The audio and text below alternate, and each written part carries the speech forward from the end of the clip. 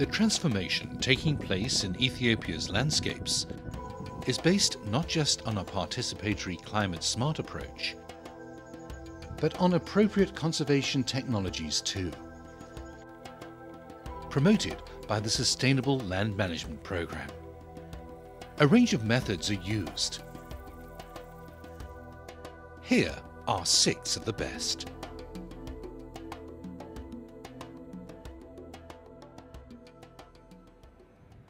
Stone bunds are built along the contours of hillsides. These low stone walls are nothing new. Farmers have been building them for centuries. But it's a tradition that has been recognized as valuable and scaled up for impact. Some soil is backfilled above the terrace and sediment captured from runoff that flows downslope. Over time, the land begins to level off, forming a basic type of terrace. It's labour intensive, but where there's plenty of stone, like in Tigray, this is a good option. What's more, stone bunds are versatile. They can be used on cropland and to rehabilitate rangeland as well. Bench terraces are a recent innovation, inspired by a trip to China's rehabilitated Loess Plateau. These wide terraces made a strong impression on the Ethiopian visitors, who have replicated what they saw. With careful design, these benches capture more rainfall while holding the soil better. But construction is heavy work and requires mass participation of local communities. Due to their cost, they are only used where the returns are high, from cash crops like vegetables and fruits.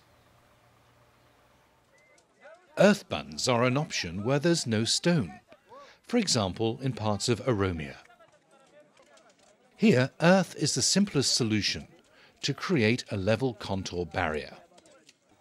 Grasses are planted on the bunds to stabilize them. The grass yields an extra benefit. It provides fodder for livestock. Trenches are dug above the bunds. They capture water, which sinks into the soil for better plant growth. Care must be taken to site the bunds along the contour, or breakages may occur. Check dams prevent soil loss where gullies have formed, or if rills are growing deeper. Where gullies are small, loose stone may be used. If they are large, packed gabion baskets give greater stability. Check dams are designed so that water can't flow around them. Wing walls are cut into the gully bank and a spillway formed in the middle. This ensures that runoff is controlled and sediment captured. Grasses and trees are planted in the gully bed. Growing vegetation heals the scar in the land and makes it productive.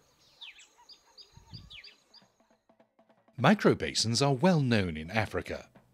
They've been used to great effect in Burkina Faso and Niger, where they're called half moons. In Ethiopia, they are also valued to capture runoff. Microbasins are made from earth or from stone. They range from very small to several meters in radius. Larger structures are built with soakaway pits in their catchments to help runoff sink into the ground. Overflow is held as it travels over the surface. The pits fill and soak the soil around them. This helps thirsty tree seedlings to establish themselves and grass to recover too. Runoff is also held by the microbasins. They are designed to allow excess water to run safely downslope into the next row of structures. Some rainwater infiltrates below the root zone, replenishing the water table.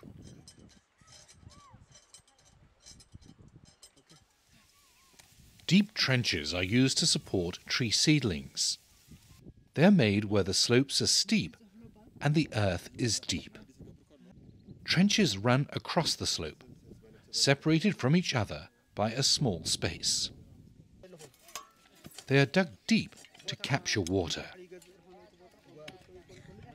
And trees are planted on the bund or on a step in the trench where their roots can tap into the harvested rainwater.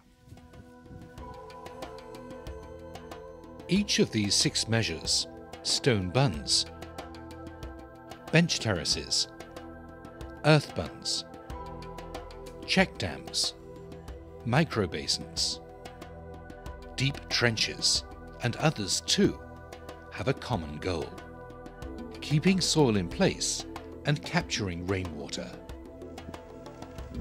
They help to regreen the landscape, and this brings direct benefits to land users.